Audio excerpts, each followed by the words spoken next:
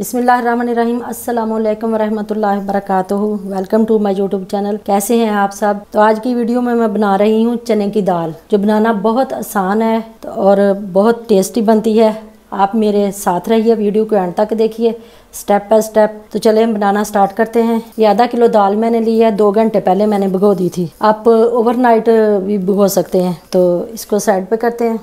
ये दो प्याज लिए है मैंने मीडियम साइज़ और ये तीन टमाटर लिए हैं। और ये कुछ मसाले हैं। एक टीस्पून ये सुरख मिर्च पाउडर, एक टीस्पून हल्दी, आधा टीस्पून चिली फ्लेक्स और एक टेबल स्पून सूखा धनिया पिसा हुआ और आधा टीस्पून गरम मसाला, एक टीस्पून जीरा कुटा भुना। और ये कुछ, ये एक टीस्पून नमक है। नमक आप अपने टेस्ट के हिसाब से डालें। और ये कुछ साबुत मसाले हैं। दो ये दारचीनी के टुकड़े हैं और एक इलायची है बड़ी और ये तीन चार लौंग है। और एक टीस्पून ये ज़ीरा है। ये मसाले जाएँगे इसमें।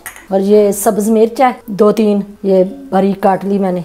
और ये गार्निशिंग के लिए ये सब्ज़ धनिया तो चलें, बनाना स्टार्ट करते हैं। तो ये ये एक कप पानी है ये गिलास तो मैंने ये कुकर लिया है, छोटे वाला। तो इसमें मैंने ये ऑयल डाला है, आधा कप ऑयल है। तो चूल्हा मैंने ऑन कर दिया। ऑयल गर्म हो जाए तो हम अपना प्याज डाल देंगे। प्याज को थोड़ा लाइट ब्राउन होने देंगे। तो अब ये साबुत जो मसाले थे दारचीनी लौंग और इलायची। बड़ी, ये डाल देंगे। एक डेढ़ मिनट मैंने ये इसको थोड़ा किया, प्याज को। फिर मैंने ये साबुत मसाले डाल दिए और साथ ही ये ज़ीरा भी डाल दूँगी। ये एक मिनट थोड़ा भुन जाए तो फिर इसमें टमाटर डालते हैं। प्याज को ज़्यादा ब्राउन नहीं करना। तो चलें, अब मैं ये टमाटर डालती हूँ। तो चलें, ये अब मसाले डालते हैं। सॉरी ये लहसुन अदरक तो मैं बताना भूल ही गई। अब इस स्टेज पर डालते हैं, लेकिन ये जब साबुत मसाले डालें ना, साबुत मसालों के साथ ही इसको डालना है।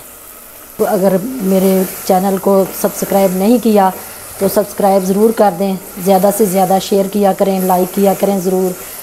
और फिर कमेंट में भी बताएँ कि ये कैसी बनी है।